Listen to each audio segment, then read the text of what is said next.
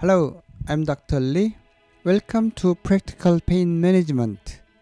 I'll introduce home exercise training for adhesive capsulitis. I designed three simple exercises using the muscle energy technique.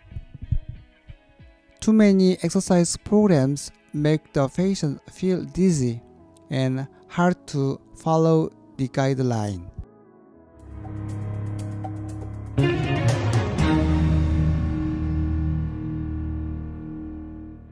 I'd appreciate it if you could turn on English caption for better communication. Muscle energy technique is a manual therapy that uses gentle muscle contractions of the patients to relax, lengthen muscles, and normalize joint motion.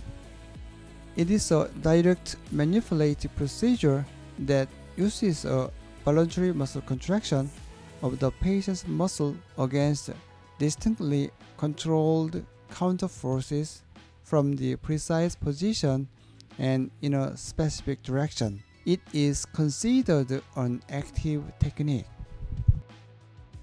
MET is based on the principle of reciprocal inhibition, theory that explains that muscles on one side of a joint will always relax to accommodate the contraction of the muscle on the other side of the joint when indirect pressure is applied. Glenohumeral joint motion in adhesive capsulitis shows a limitation in three ways abduction limitation, external rotation limitation, and internal rotation limitation. So, we aim to overcome these three directions of limitations. Abduction This technique was designed to increase the abduction range of motion. Choose a place where you can put your arms around the desk or table and put your arms on it. Raise the arm as high as possible to the extent that there is no pain. Please stabilize your body. Gently and slowly press the elbow downward to contract the muscle. Push down your elbow with a 30% strength of force that you can make most.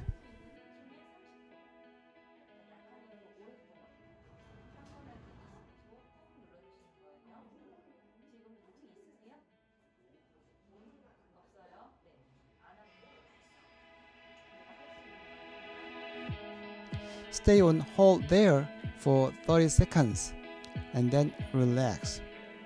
After 10 second pause, stretch more your shoulder as much as possible to the limit that you can bear. Repeat this sequence of exercise 5 times.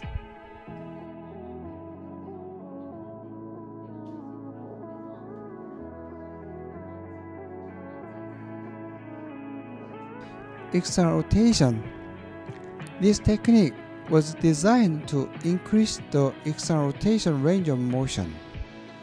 Select a wall or column and stand next to the wall. Attach the elbow to the side of the body and put the waist part against the wall. Keep the elbow angle at right angles and do not bend the wrist. And turn your arms as much as possible to the extent there is no pain.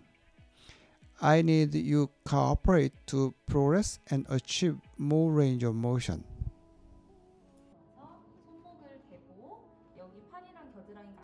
Please stabilize your body gently and slowly press the wrist inward against the wall to contract the muscle roll inward your form with 30% strength of force that you can make most.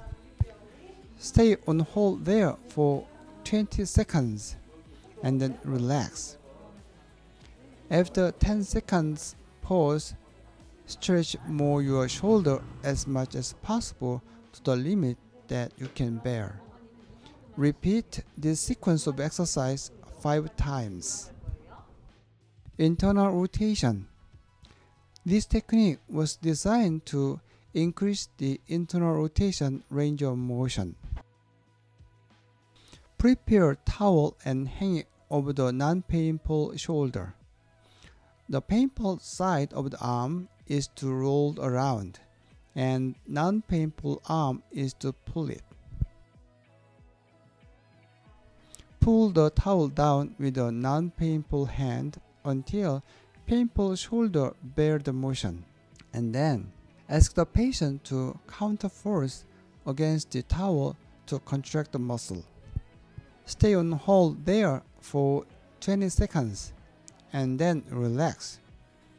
After 10 seconds pause, stretch more of your shoulder as much as possible to the limit that you can bear.